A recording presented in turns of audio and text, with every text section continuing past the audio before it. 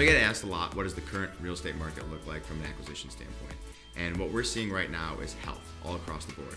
Supply and demand fundamentals are in check. We're seeing a lot of availability of capital for investors.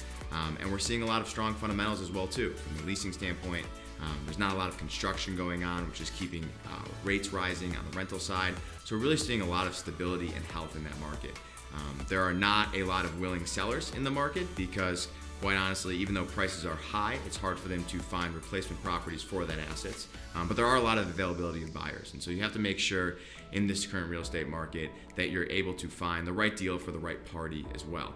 Um, we're not seeing a ton of construction, and it's very market specific. For example, on the multifamily side, we are seeing a tremendous amount of construction versus the office side where you're seeing virtually none. Um, but that supply demand fundamentals is really keeping market fundamentals in check.